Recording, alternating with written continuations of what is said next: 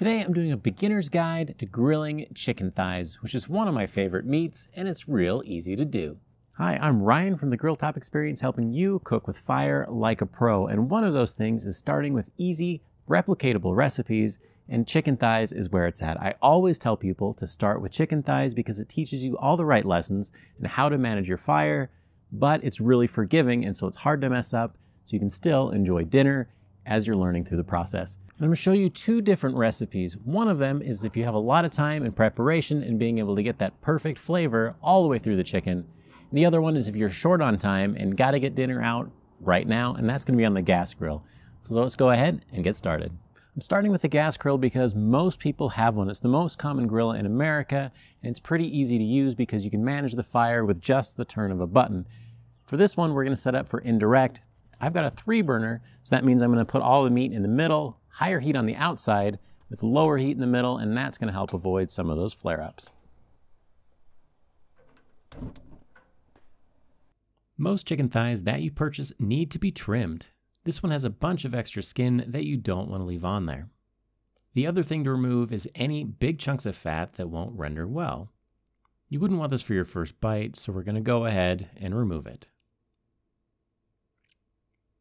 Do the same thing for the other thighs as well.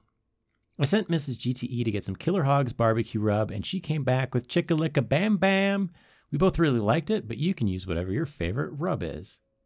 The biggest benefit of this method is it's really easy to switch things up to change the flavor profile to the one that you want. This rub doesn't have much salt, so I added just a bit directly on the skin. Chicken thighs stick to these grates like bear skin on vinyl seats in the summer, so I coat them with a thin layer of oil right before I put the meat on, and it usually keeps things from sticking. Putting the meat over the low burner should avoid flare ups, but having the other burners turned up higher will keep the temperatures up to crisp up the skin.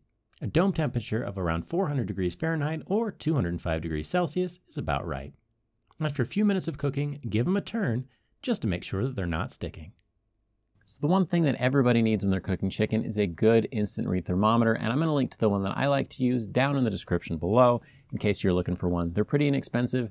You get a decent one on Amazon for 20 to $30. The reason why it's so important is because you want to get to 175 degrees Fahrenheit to make sure that it's safe to eat and it's about the perfect tenderness when it reaches that temperature. You can get an idea of how the temperature is going based on the way the skin looks, but it's not a perfect tell.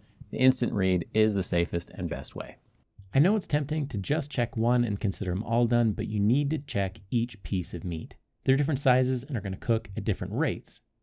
Remember, you aren't checking the skin temperature. Get that probe into the center of the meat, but away from any bones for an accurate read. Chicken thighs are pretty forgiving, and it'll be okay if you go over just a little bit. I also like to turn up the heat and put the chicken skin side down to help render the last bit of fat from the skin and get it extra crispy. Just watch things carefully just to make sure that you don't get a flare up and ruin your work. These came out great with bite through skin and were a big hit around the house. If I have the time, I'll always go to my kettle and use charcoal and real wood to be able to maximize the flavor, but it's a bit of an investment. It takes a little longer to get the kettle up to steam and ready to cook and get good smoke. But I also have some chicken marinating inside. I'll quickly show you how I set that up before we talk about setting up the kettle. This chicken needed to be trimmed as well, and it really depends on the job that the butcher did. This batch had more trimming than I'm used to, and sometimes you'll barely need to trim your chicken at all.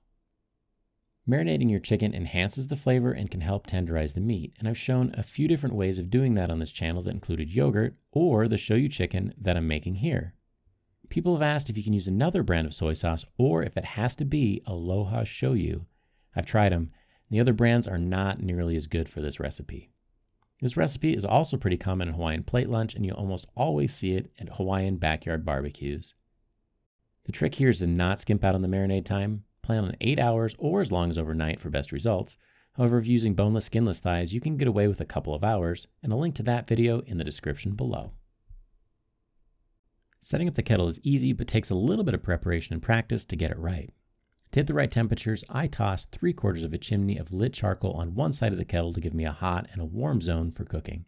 The vent settings are usually closed by about half on the top and the bottom. Put the chicken on the cooler side of the grill and you won't have any flare ups because it's not over the fire.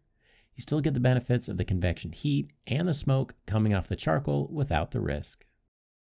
A common question that I get when I tell people what I've cooked is Did you smoke it? And smoking generally means cooking at 225 degrees Fahrenheit for an extended period of time, and that is bad news for chicken. You'll almost always end up with a gummy skin that'll come right off the chicken thighs.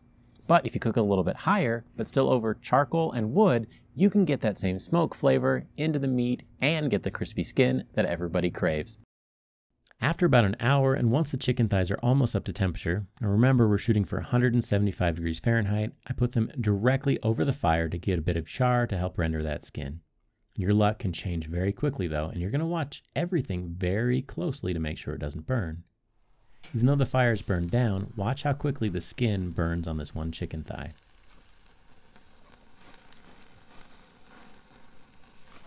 Now, the grill grates had a chance to heat up and that burned the skin rather than crisping it. So try to find a spot over the charcoal that is a bit cooler and you're going to get great results.